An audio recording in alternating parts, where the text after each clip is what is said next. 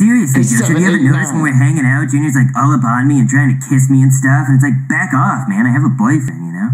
Cody, literally, I've never seen that happen. What?